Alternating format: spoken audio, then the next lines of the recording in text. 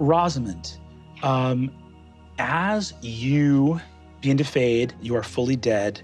And you, as your sort of life is leaving your body, you see Thumbelina's face looking down as the light leaves from you. She looks down and says, Princess, is it your time to rest?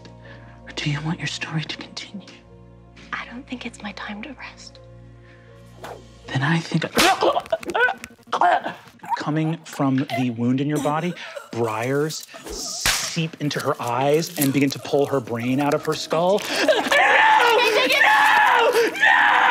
And her skull and tiny body is split in half as this version of you seeps into the book. And you call and devour a darker version of your story. You come back at one hit point. Thumbelina is dead. Uh, nobody tell Tom.